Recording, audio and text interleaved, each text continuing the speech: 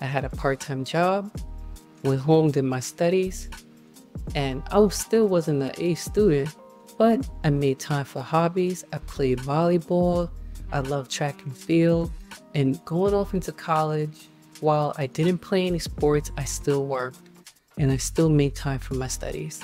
But I really didn't know back then how to be more efficient and productive towards my goals. As a result, I ended up working a variety of jobs, job hopping, thinking that I was working hard and that if I just proved myself, that I could get ahead. But long story short, I kept getting passed over. I thought I was doing everything, but I didn't realize that I was lacking a strategy. I was lacking efficiency. My productivity wasn't really moving me closer to my goals. I loved reading motivational books, Tony Robbins, and even to now, some of my favorite people, Dan Cole, to watch. But what I failed to realize was where my energy was going means it was no longer available for the more important, productive task that was going to move me towards my goal. So, if your goal is to go from making $30,000 a year to $50,000 a year, well, guess what? What are people who are making over $50,000 doing? They're not working necessarily two times harder than you. They have a strategy in place. And so I'm going to get into some of the strategies I eventually changed that helped me achieve more and accomplish more, and how I was able to study more, accomplish my financial goals and my career goals, all while working and building a family. So, one thing we don't realize is just because we want something, want it real bad, doesn't mean we're going to have it. I don't care how many books you read and how many motivational speeches you listen to how many hours you spent. What all you did and what all you accomplished was put 10, 20, some odd hours, days, and weeks into someone else. That someone else being whoever you are listening to. Eventually, you have to apply what you've been learning and you have to do the actual work. And that's the part that we don't want to do. That is the hardest because you may not realize that the work is opening, taking the note, solving the problems, whether it's a programming problem, maybe you're learning to code, or maybe it's a mathematical problem, maybe you decided to go back to school and take some courses, or maybe you decided that, hey, you know what, maybe I do want to get my degree. I've been putting it off, I'm getting passed up for jobs, and I'm not a dumb person. So, you know what, while I'm working, I do want to go back to school. Maybe I'll do these online courses. Maybe you're not used to taking online courses. For anyone, do you remember when Blackboard, that online program, came out and how awkward and weird it felt? You went from sitting in a classroom getting instructions, being told what to do, you had your lesson plan. Now you have to go online and figure out, first of all, what am I going to click on? You go onto the screen, you're trying to navigate, you're trying to find click on this link. You open up certain folders and links, stuff that you need is not there. But guess what? We are now at a place where almost everything, all of our learning instruction is online. Therefore, what you have to do if you are working, and what I eventually did was I threw darts. I tried a variety of things, and eventually I picked up momentum. Just the habit, just First of all, carving out time is one of the hardest things you can do because we are all creatures of habit. We're used to having our routine, our morning, afternoon, and evening routine. I remember back in college being up all night watching Adult Swim, South Park, Family Guy, all these crazy cartoons. The stuff was funny.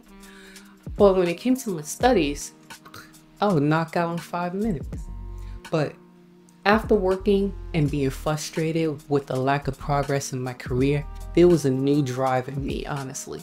And that drive was like, I cannot enter another year. I cannot go through another New Year's resolution and look at my paycheck and how pathetic it looks and keep thinking to myself, why am I not getting any better? So I eventually used calendars in my phone. I used paper calendars. Once I enrolled in my courses, as soon as the professor gave us deadlines, as soon as I knew of a deadline, I marked it down. And I know how I am. I'm a procrastinator. To hedge that is mark it off earlier. So whatever it is, if it's due Saturday, I tell myself it's due Wednesday because I know I'm going to procrastinate and I know I'm going to wait to the last minute and I'll get it done. But that is what worked for me. And eventually, by sticking to the plan, I developed the habit of doing it little by little on time. I marked my calendar, I met my due date ahead of time, and then what happens? You always find mistakes. After you stayed up all night cranking out the work, you end up finding something. You had an essay you had to submit, you end up proofreading it, and now you're glad you gave yourself an extra couple of days to go over it and make the corrections, right? When it came time to studying and working, all I have is the evening. I don't have the middle of the day. But during the middle of the day, during my lunch break, I can go into the online system, see what assignments I have, start marking my calendar on my phone, and start breaking down the task. You may not have time during your lunch hour to do the task. There were some tasks that I completed during my lunch hour. But before that, I would look at the assignments that were due, break them down into small bits and pieces. Is there some time I need to spend just gathering material, researching the topic, looking up information? Oftentimes I have to go on YouTube to find tutorials just to understand some of the concepts. By the time I get to the next day or the next lunch hour or that evening, I've already spent about an hour just looking at tutorials to prepare me for the assignment later that evening. And most of my courses were online, so I really didn't have to worry about going to class, but I did have a few courses that I had to go to the school, and that occurred either after hours or I would use my paid time off to go to the school. So fortunately, I had that type of setup with my hours but you might be able to if you have an arrangement with your current employer. Maybe they will allow you to either flex in or flex out, give you some flexibility so that you can make the classes if you have anything in person. But if you don't, then all you have to work with is your after hours. Nighttime came around. Yes, I'm tired from working all day, but this is where the music came in for me. And that's when instrumental music like lo-fi and chill hop really gave me just enough boost to stay up while not getting so excited and so distracted that I'm no longer focused on my studies. Then I mark it down. Some people, I used to use Trello to help organize my studies. It's a free application, free website that you can use. Some people like to use Notion, but I'm an advocate for using whatever you have at your disposal because the easier it is for you to start the new habits, the more likely you are to stick with it. So if this is something that you really want to do, you're sick and tired of looking at your crappy paycheck, then you are at least halfway there as far as some motivation. But motivation is not going to help you the rest of the way because believe me, you're going to feel like throwing your computer out the window at times. You're going to look at your studies, you're going to look at the work, and you're going to say, forget this. There are going to be nights where you've had enough and you're just going to close the book and you're going to go to bed. And that's fine. And that's why we set our dates the way we did so that for those nights when you're like, the hell with this, it's all right. Once I got into the habit and once I created my schedule and kept going with it, I realized that the evening times, the late night, really gave me a new sense of energy. It was something about the quiet evening. Everyone is asleep. It is crickets outside, literally.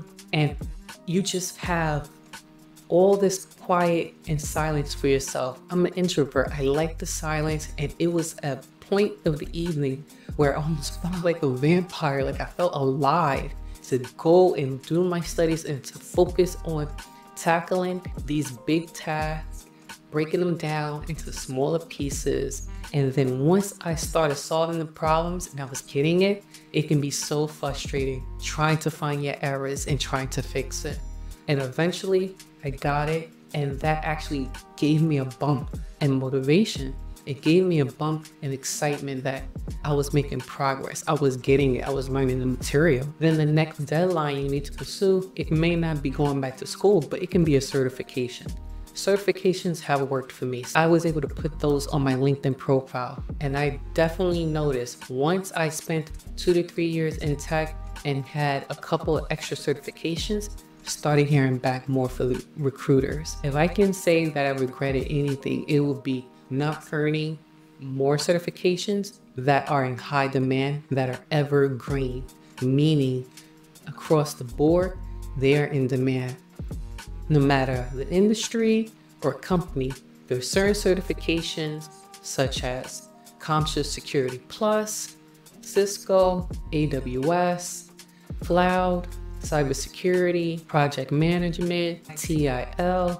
There are certain certifications that across the board have been considered evergreen, and they should complement the work that you're doing on your job. Because if you can't speak and vouch for how you're using the information in a certification on your day to day, then the employees are going to see that you're just trying to pad your resume and your LinkedIn profile with certifications that are irrelevant and they're not applicable to your current jobs. So if you're in a non-tech field and you want to level up and make more money, then look at some of the non-technical certifications that can.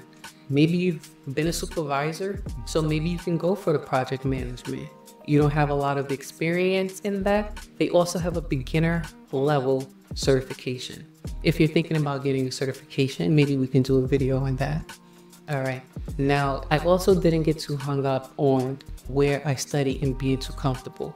Some people, they can't study if there's too much. They gotta, they gotta shuffle things around. They gotta move things. They gotta fix things. They gotta, they gotta do all this. I'm, I'm not, I'm not the feng shui when it comes to getting things done. If I have a deadline, if I have assignments, I don't care how messy or crazy my space looks. I'm going to sit down. I'm going to have a timer on my phone so I don't get distracted. I'm going to put my phone on silent and I'm going to bang it out. I'm going to do 20 minutes, 30, 40 minutes of pure focus where my energy is. So for me, that is early morning, afternoon, and then a piece of the evening is when I have a little burst of energy and I'm going to knock it out. If we haven't been doing that, try that and let me know how it's been working for you. You're struggling to keep focused, tell me what you're getting hung up on. And then when you're studying, of course, it's natural, you might be hungry or whatever. I find that before I even get into it, if I just have my water, if I have a granola bar, if I have a snack, do what you gotta do. That way, you're not taking a break that's supposed to be two minutes, and that two minutes becomes two hours, and you haven't finished your assignment. Okay? So you're not gonna fool yourself. We're gonna stay productive because the job market is crazy right now, and it sucks as it is. It might be slow, but there are still some industries that are still hiring. We need infrastructure, and we need professionals who have a certain skill set that are going to help us move forward with that. I work in government, and even during the pandemic and during the tech layoff, my company did not lay off anyone. So look at federal, state, and local government if you're here in the US. I can't speak for any place else, but for here in the US, those are opportunities that might provide more job security if that's what you're looking for. I hope you got value out of this. And if you did, be sure to like, share, and subscribe and share with other people who are looking for new tools and new ways to become productive and move forward despite the busy life that they have. I'll see you in the next video.